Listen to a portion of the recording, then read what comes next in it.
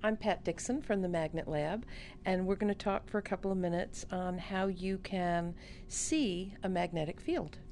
So, what I'm going to do is take a typical bar magnet, and if I put the bar magnet down and put some compasses, and these are not fancy, these are just regular directional compasses, around the magnet, all of the arrows will be pointing toward the north pole of the magnet.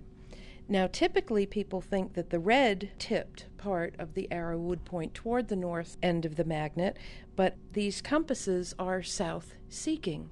So, when you look at this, you can see that the red arrows are actually pointing away, and the blue is pointing toward the north end of the magnet. If you doubt this, I can take the magnet because we've got the north end with the little notch in it. That's how I know it's north.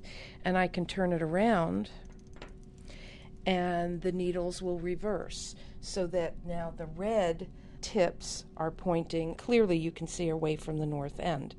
So this is one way to see a magnetic field because magnets exert this force that we cannot see.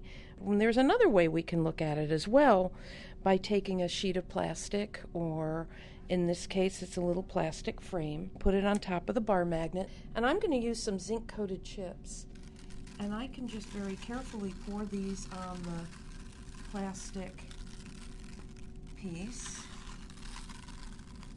And I can not I not only can now see the field that's created by this bar magnet, which is really typical, the kind you'd see in a in your typical textbook.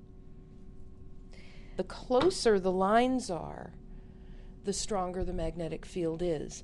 So if this plastic piece was even bigger, the filings would just get thinner and thinner and thinner.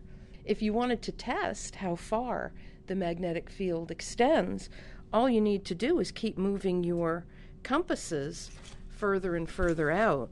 And when they're no longer affected by this magnet, but are affected just by the Earth's magnetic field, then you'll know that that's the limit of this magnet's field.